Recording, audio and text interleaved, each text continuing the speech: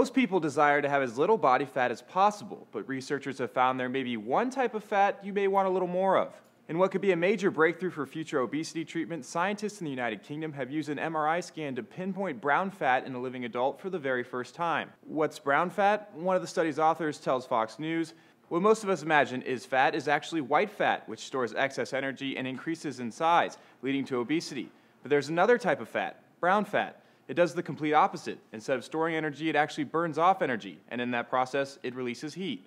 If you look at this image, which shows the upper chest of a person as if viewed from the feet, you'll see the green areas represent places of potential brown fat. Previously, it had only been found in the shoulders of newborns. The finding is significant for the future development of weight loss methods. This is because it's currently believed a sugar cube size of brown fat, if activated properly, could burn about 6 to 9 pounds of white fat in a year. You know, the bad stuff you spend hours in the gym trying to work off. There are currently no existing weight loss therapies focusing on brown fat, but one of the study's authors says if a treatment could be developed, it might be the quote, holy grail of weight loss.